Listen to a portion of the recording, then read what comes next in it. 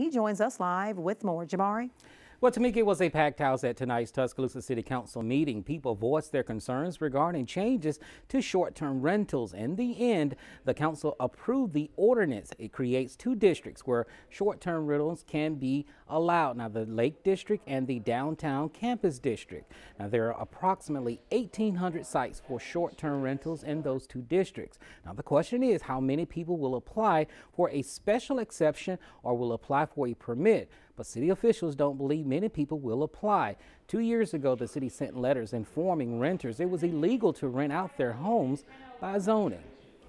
This has been a very lengthy process. We had uh, 17 public meetings about this, and we heard the concerns from all sides. Um, and I believe this evening's vote is a reflection of a meshing of those concerns. And as the council stated this evening, it's not perfect. It's very likely that we will come back and revisit it in the near future.